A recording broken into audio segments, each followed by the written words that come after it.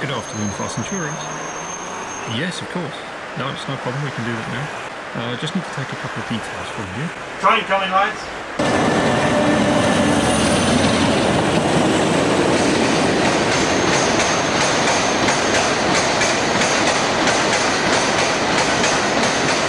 Oh, I'm sorry about that, sir. Another train.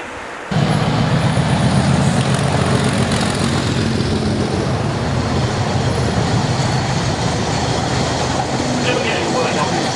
Train.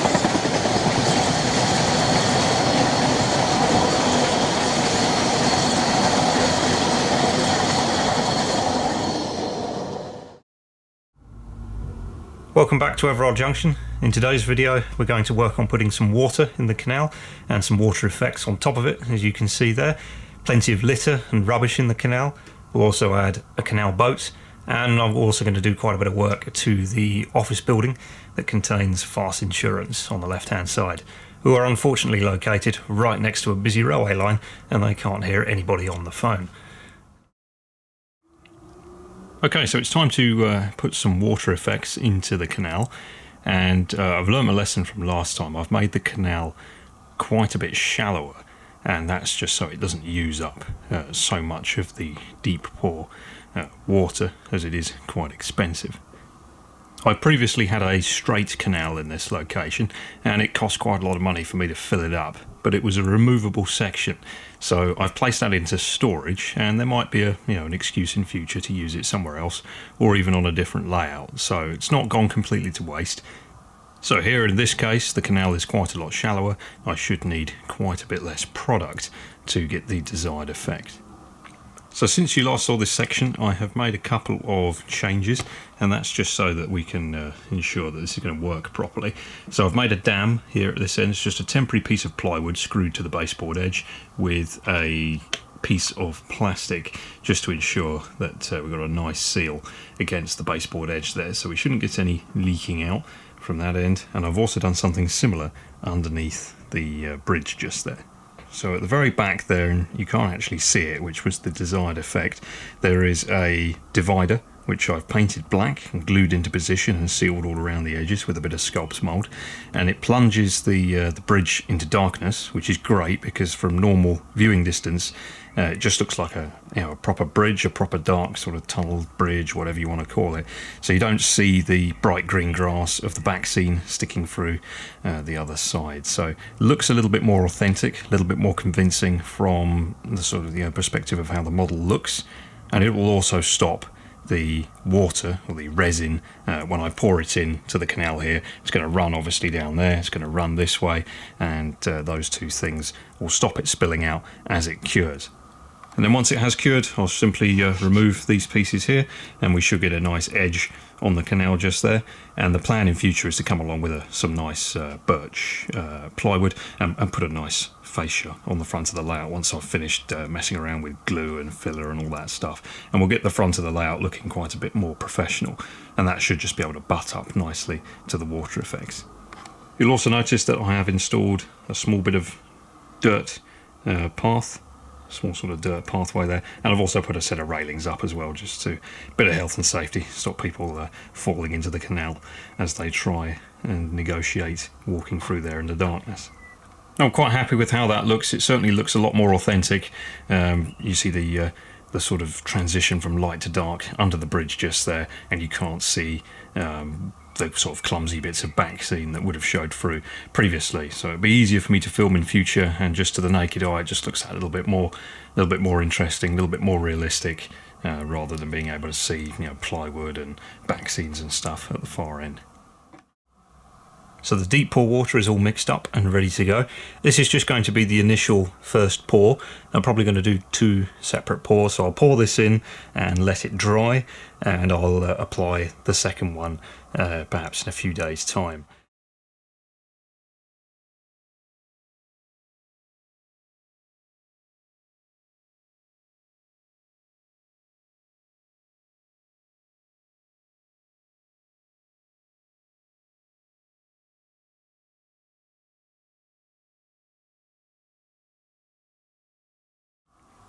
So as I said, I'll go ahead and let that cure uh, take at least 24 hours to cure, so I'll just leave it alone, don't disturb it, and we'll come back and add some more in future, along with some extra details as well.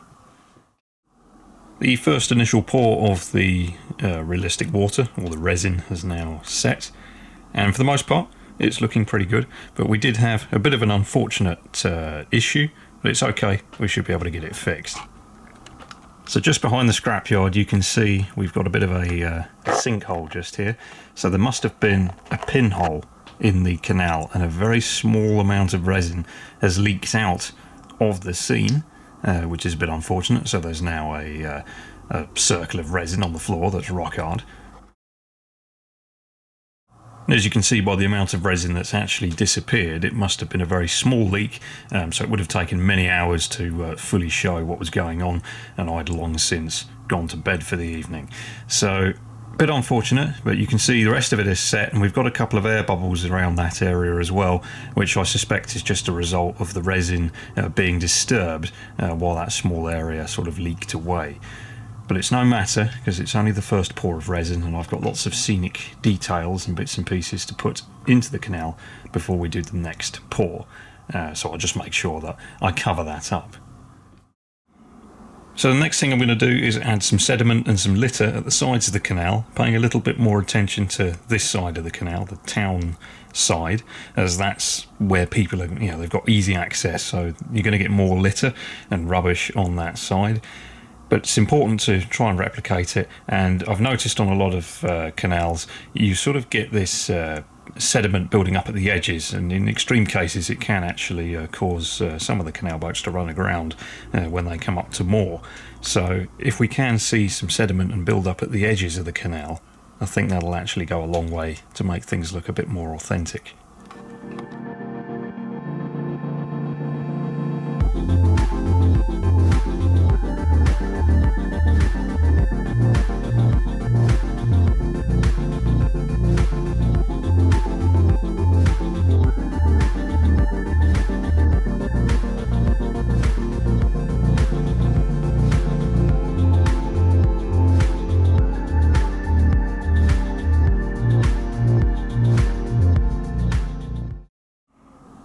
Okay, so I've added the uh, sediment as you can see, and that's done a lovely job of covering up those air bubbles and that nasty uh, little spot where the water had leaked out. And we're also going to have the benefit of this uh, centre section looking deeper as if the canal has been dredged. So I'm going to glue this into position. I'm not sure how it will behave when the resin is poured on top of it, you know, whether or not it might move around or float even. So I'm just going to glue it down with some rocket card glue as that uh, dries nice and quick. As usual, just spray it with some isopropyl alcohol just to wet it, and that'll let the glue soak in.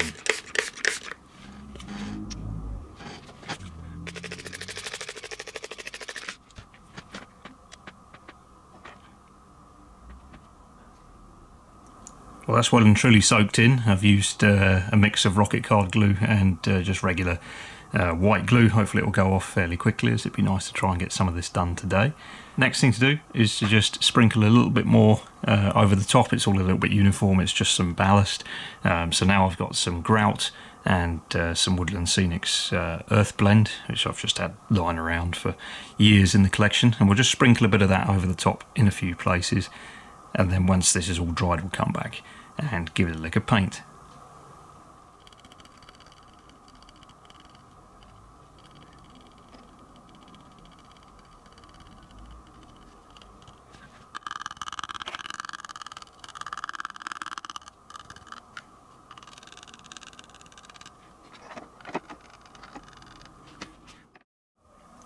So the sediment has now dried. I'm just going to take the airbrush and paint some of this, make it look a little bit darker, a little bit more murky, so it looks a little bit better in the water. And the colour I'm going to be using for that is uh, Vallejo again, and this is uh, German Camouflage Black Brown, one of my favourite colours, a real dark, earthy brown, works great in a lot of the ground cover I use on the layout.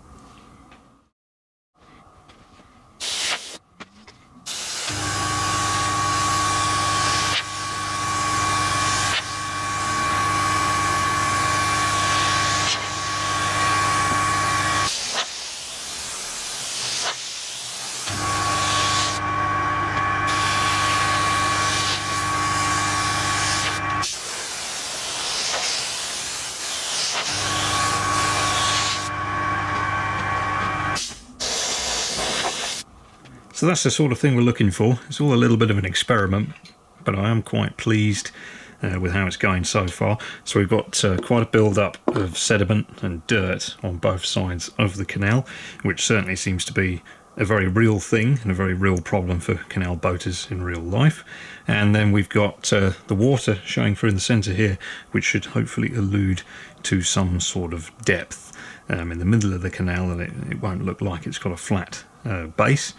As I say, all a bit of an experiment, so we'll see how it goes, but uh, I'm quite interested uh, to see what happens. I'm pleased with it so far, so fingers crossed. Next, we'll add the litter, the dirt and the rubbish into the canal and then we'll start adding a little bit more of that realistic water and hopefully things will go to plan. So I've got lots of bits and pieces to put into the canal.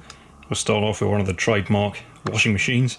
I've printed out so many of these, I'm just sort of trying to use them up in various places and because we have a large number of them over here in the scrapyard it's uh, entirely possible for perhaps one of them to have fallen over the fence into the canal.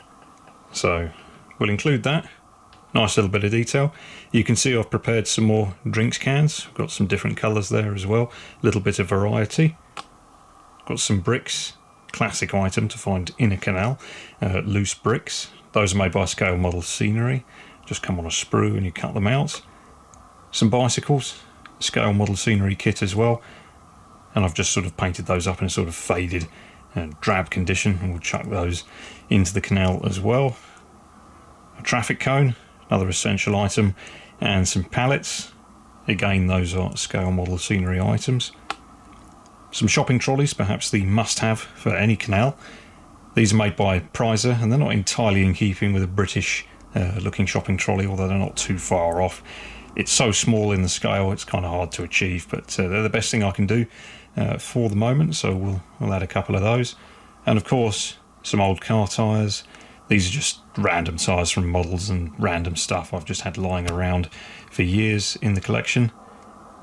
And I've also scrunched up some paper and glued it, painted it gloss black to represent some sort of black uh, rubbish bags. Again, something you would find chucked in a canal.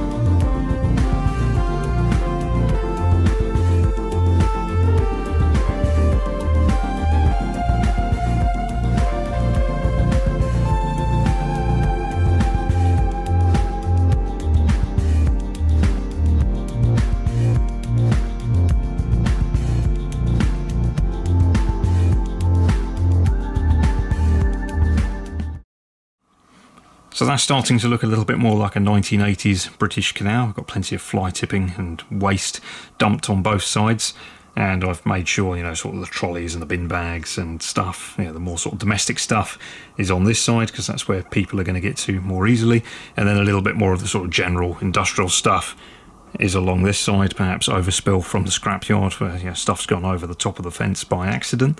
And I've also just put a few drinks cans on that far side as well because it's quite reasonable for somebody to be stood here and to throw the drinks can at the fence or try and get it into the scrapyard and it ends up landing in the far side of the canal. And also the water would, you know, move some of the bits and pieces about. Uh, so, for example, got the wash, the uh, shopping trolleys and stuff. You know, they've just been pushed uh, straight over the edge. Got one there, one there. There's another one a little bit closer to the camera. So I'll glue the rest of those loose details down, go over it with a little bit of paint just to give the effect of some mud uh, that's washed over some of this detail. The cans are a little bit too vibrant at the moment, so we'll tone those down and then we'll uh, pour in some of the water, just being careful.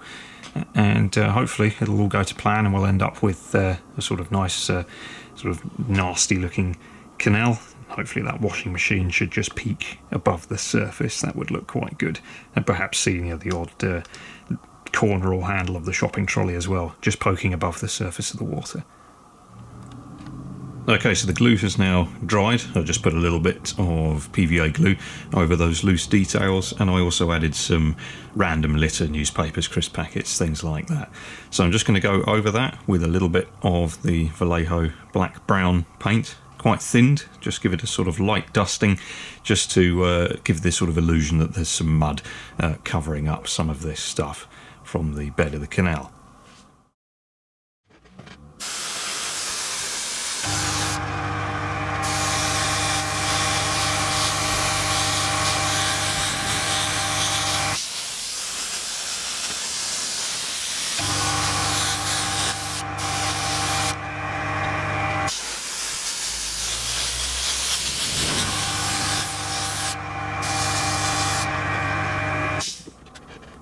So now we'll add some more of the deep pour water and I'm just going to be pouring that in uh, relatively thin layers and just build it up. I don't want to put a massive uh, slab of resin down in there because it will get quite hot as it cures and that could damage or ruin uh, some of the details that are sitting on the bed of the canal.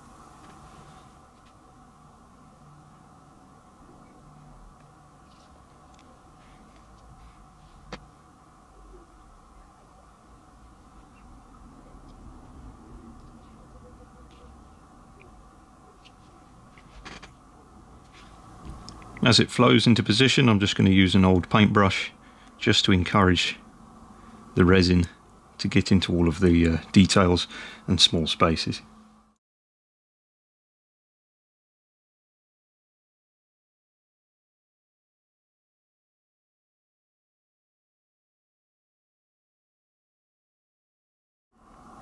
Okay, well, that's the sort of effect I was looking for. It seems to be going to plan. So hopefully nothing will melt as that starts to cure and we'll come back and add another layer and make the uh, canal a little deeper. So that additional layer of the deep pour water has now dried and it's difficult for you to see because the camera is uh, really fixated on the reflection in the canal but I can confirm to you to the naked eye uh, it does look quite a bit more impressive than the reflection of a white brick wall. Uh, the camera is really overemphasizing that.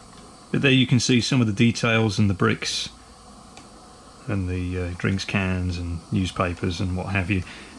As I say, difficult to film, but the details are there and they're still very much visible. So I'm going to bring the, the level of the water up a little bit more with one more additional pour of water and then that should uh, be good. That should sort this out and we'll leave that to dry. While I've been waiting for the resin to dry, I have done a little bit of weathering to the bridge girders. They still need a little bit more work, a little bit more detail adding to them. But as you can see, I've done some light graffiti and some rust. They just need a coat of matte varnish and a little bit more to get them up to standard, but I'm quite pleased with those. Similar to the last time I had a canal in this section, I would like to add a canal boat. Uh, previously, had a quick go at uh, building a canal boat of my own. It was quite a tedious and lengthy process, and there's only so much I could do in the time I had. Uh, so this time round, I've uh, fired up the 3D printer, and we have a new canal boat for the scene. I downloaded the file off of Thingiverse, and the chap who uh, created it is in the bottom of the screen just there. Uh, so there you go. Quite pleased with that. Uh, it took several hours to print out, but uh, I could just leave that running and go and do something else.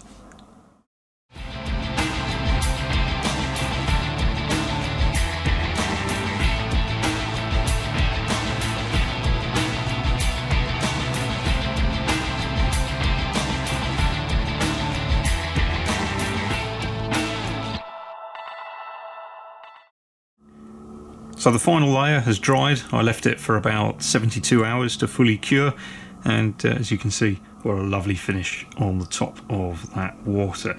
Uh, so the next thing to do is to add some effects of course and I've also got that uh, canal boat which I need to finish painting and we can get a little bit more life and movement into the scene. All of the litter and waste and rubbish has come out quite nicely so you can see the traffic cone a little bit of hint of blue from one of the drinks cans. There's quite clearly a shopping trolley on its side, and you can just sort of pick out all of that uh, discarded filth. But it's not so close to the surface that you know it would be improbable for you know a boat uh, to go past. So now I'll just quickly remove the piece of plastic, and of course, as I said at the beginning of the video, I will come back here and put a nice fascia on the front of the layout.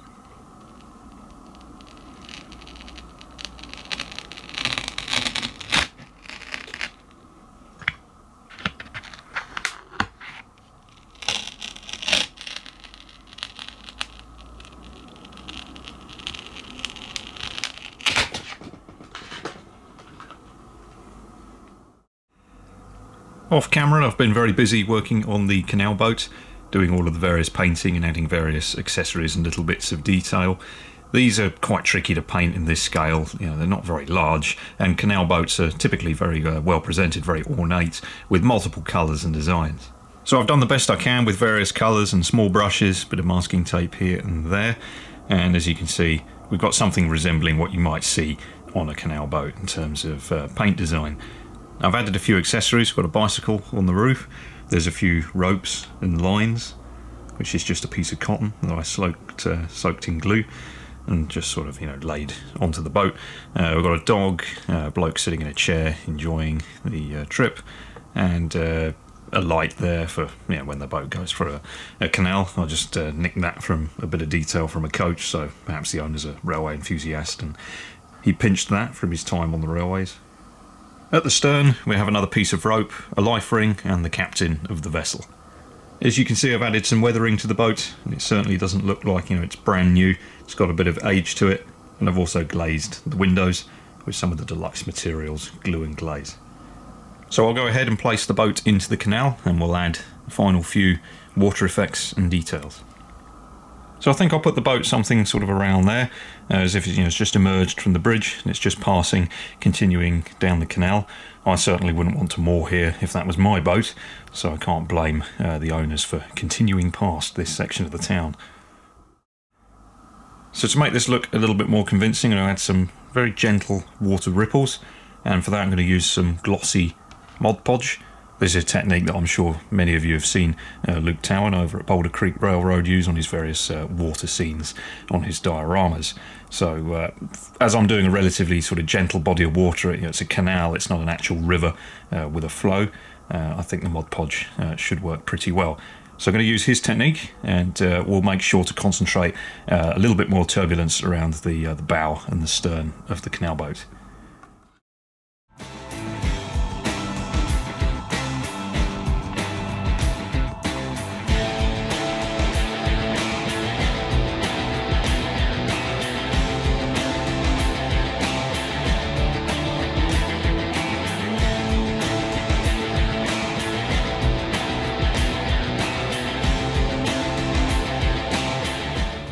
So I've just brushed some of the Mod Podge on and as you can see it doesn't look very good because the next thing you need to do is use an airbrush to create the more convincing rippled effect.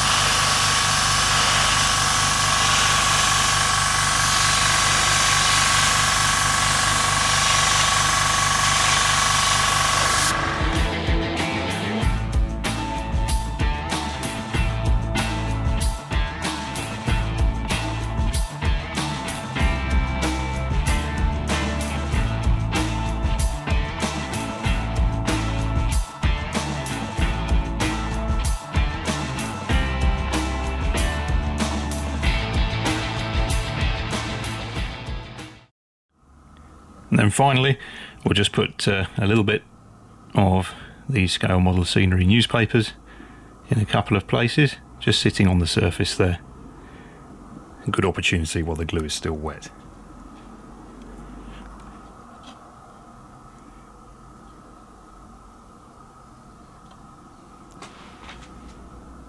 So I'll leave that to dry, and while it's drying, I'm going to go back down to the workbench and carry on working on the office building that fits into this area here.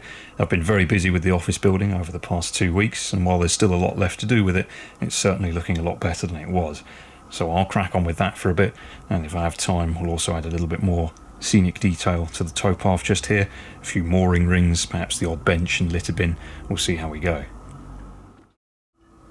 So while I've been waiting for the Mod Podge to dry, I've just been progressing a little bit more with the office building and a few other bits. And you can see I've also uh, done some graffiti and some subtle weathering to that bridge girder there. And it just blends things in with the urban surroundings. It did look far too clean. So if we move over to the office building itself, you can see this has come a long way from the previous cardboard shell. So I've still got quite a ways to go, but as you can see, this is basically uh, the same style of building as the previous office block. I built uh, about two years ago now on the uh, other side of the layout, which has now been uh, ripped up uh, pending this uh, this sort of upgrade in the scenery. So I still had the files obviously for the building, so I just uh, made another one, and this time I decided to clad it in brick and just be a little bit more adventurous uh, with some of the plasticard and stuff like that, and just make it look a little bit more interesting and a little bit more detailed, so it better blends in with its surroundings. The previous attempt at this building, I, I, don't think it really looked um, quite up to standard. Now that we've uh, sort of upped our game a little bit on this area, so no matter. Just uh, the lessons I've learned and uh, made it look a little bit more interesting. So on this particular version of the building, I've made a few changes and a few upgrades. So I've changed these shops uh, that go on the ground floor, and as you can see, we now have uh, a little bit of a sort of a greengrocer, sort of fruit and veg uh, type place. And you can even see some uh, some containers outside with uh, various uh, items of produce in them, and I'll probably put those up on some tables once I get this scene fully finished. And then over on this side, I previously had a electronics uh, store here, and I'm going to continue the same idea. This will be an electronics store, but uh, once again, I'm going to sort of upgrade things a little bit, make it look a bit more impressive than the previous effort. I've also studied uh, buildings of this type extensively on Google Street View and done my best to try and portray some of the drainage and how the sort of windows are set into the brickwork and you know electronic uh, electrical cabling and fuse boxes and particularly sort of drainage and stuff like that. So let's take a look at the back of the building where I've once again uh, taken a bit of a step further uh, than the previous building and really tried to make it look a bit more detailed and interesting. So here at the rear of the building you can see there's quite a bit more detail compared to what I did on the previous version of the building and that's one of the main reasons why I decided to rebuild this as uh, many of the uh, faces of the previous building wouldn't have worked uh, in this area. So you can see we've got the windows installed, and I've installed various uh, items like drainage, electrical cabling, and also a bit of plumbing.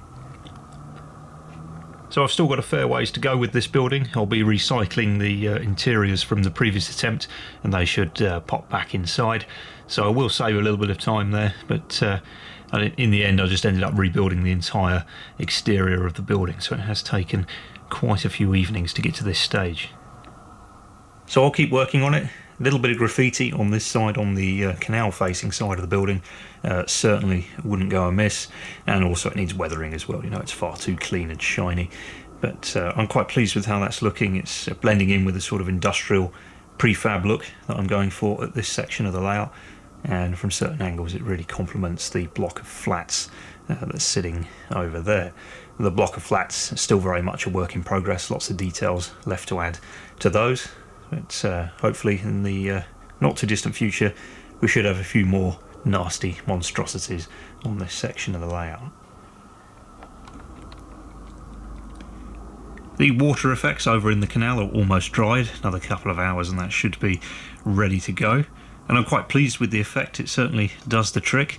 And a, a nice bonus that I wasn't expecting is uh, I no longer pick up a really heavy reflection of the brick wall in the surface of the water. Having the uh, ripples there has uh, you know disrupted the reflection of the the rest of the layout on the room, and uh, the camera now looks a little bit more favourably into the water. So I'll wait for the rest of that water to dry We'll do a little bit more work to the office building. I'm not sure how far I'll get with it in this video, but uh, it's certainly starting to uh, look a little bit more impressive than just having that uh, cardboard shell sitting in the way of the view. It's now an actual feature and it actually draws your eye in and you want to look at it as opposed to trying to look over it or around it. So it's been several weeks since the last clip I decided I really wanted to get this building a little bit closer to completion as it really sets the whole sort of canal scene and without it in position the canal looks a little bit boring.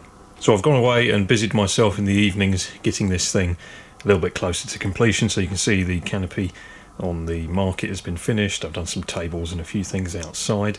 Most of the shop signage is complete, although the market uh, needs a few more transfers adding. I think perhaps a little tagline and a phone number, perhaps that would uh, certainly go a long way to make that look a bit better.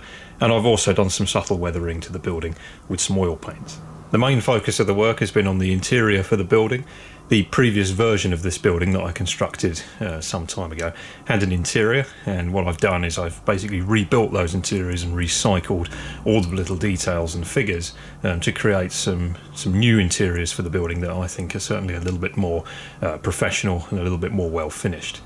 So to build the interiors, I followed a similar uh, process to what I did previously on the same style of building, and that was to create a card shell that goes inside that can be easily removed. It's not fixed in with glue or anything.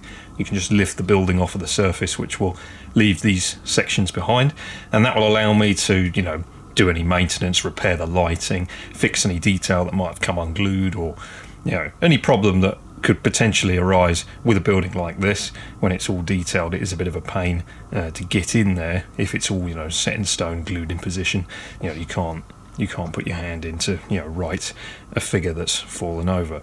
And to make things a little bit nicer, I've also made the buildings have removable interiors. So as you can see there, there's the interior for the market. And I can simply remove that and then, you know, add extra bits and pieces to it if I feel the need, or repair something that got damaged. I've also added some more comprehensive lighting to the building in the form of these homemade light strips. So I got some of that uh, LED uh, tape, self-adhesive tape, stuck it to some plasticard and then used other bits of plasticard to sort of box it all in and make something looking a little bit more like an actual light fixture. They're a little bit difficult to see, but once I get it turned on, it should be a little bit more apparent. I've also added some scale model scenery blinds and I've just sort of cut that kit up into various sections and spliced and glued various bits together, not being too concerned about the fit and finish as blinds, certainly in an office building that's past its prime, tend to get quite damaged and misshapen. So if there's anything in there that doesn't look very good, uh, we'll just put that down to it's an old building and the, the maintenance has really lapsed. At the rear of the building, there are corridors, blinds, doors, and the addition of stairs. So it is physically possible to get um, from the bottom of the building to the top via the stairs.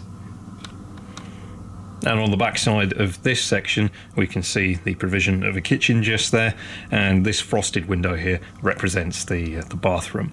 Uh, I've modelled a, uh, a, partition wall inside with a door, so there's clearly a room uh, on that floor that uh, doesn't have any windows on it, and that will be uh, the bathroom.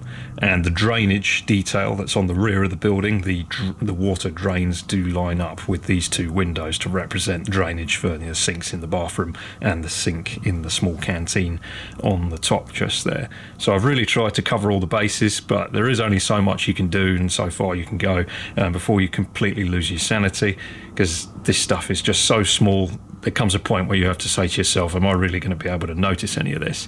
So I've taken it as far as I'm prepared to take it, and with any luck, once all the lights are on and everything, it should look uh, much more interesting than just a you know bare, uh, barren uh, inside shell, really. So we'll see how it looks. I've used some very small wires for the lights and as you can see they just come out of the uh, interior wall just there. I've superglued them to the surface so they shouldn't interfere with the uh, removal of the building shell. Should all be okay. And then I'll just drill a small hole um, in the layout just to take the wires down underneath and we can get everything plugged in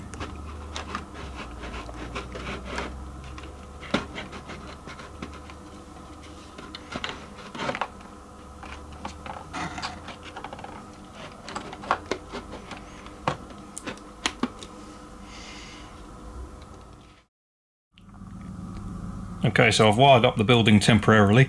Once it's all uh, finished with the wiring, each floor will be individually switchable, so you'll be able to turn on uh, different parts of the building. But for now, it's just all wired together, and I've yet to add any resistors to tone the brightness down. So it'll be a little bit uh, too bright and garish, but uh, it'll at least uh, prove the concept, and we'll be able to see how things look.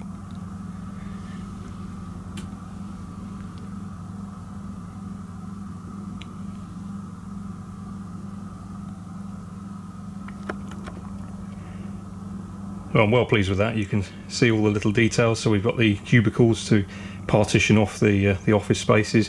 You can see the desk on the right has a phone. Obviously, there's a chap there with a green tie contemplating why his job's so terrible. A couple of computers over here. haven't put too many computers in the office. You know, 1989, they would have been incredibly expensive, and there would have only been a few in the office. Most of them would have just been terminals rather than actual workstations. Moving over to the vacant floor, you can see the blinds there. I've deliberately put some uh, put the blinds in a more of a down position so they obscure uh, the lack of detail in there. But I think that's actually quite a nice little feature and just uh, makes the building look a bit more interesting. And then down here again, you can see we've got more office cubicles. There's another chap there, got a load of paperwork on his desk. Got the blinds more raised, obviously, so you can see inside. And there's more people there as well, with more paperwork. I've just added a 1 kilo ohm resistor to the wiring. It should hopefully tone the brightness down as that was uh, quite a bit too much.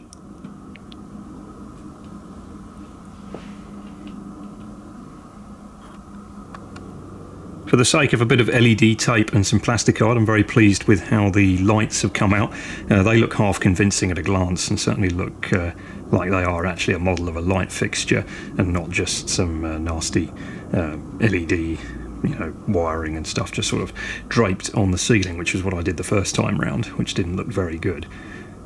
So although you might not look at it from this angle very much, the detail is there. Okay, so I'm going to call it a day there. We'll get a few running shots and see how the building sort of looks uh, in reference to the canal. But generally, I'm quite pleased with how that's come along, and I'm looking forward to getting uh, much more sort of street lighting and other building lighting added to this area. As you can see with the trains in the background, it really creates a whole sort of different scene. So looking forward to uh, making some more progress with that. And as always, I'll be back as soon as I can with the next video. And how long that'll be, I have no idea, because sometimes some of this stuff just takes weeks and weeks and weeks to put together.